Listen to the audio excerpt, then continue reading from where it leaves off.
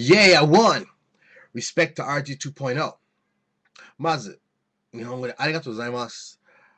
RG、来週木曜日、会いましょう。Everybody else, next week Thursday will be at the spot, you know.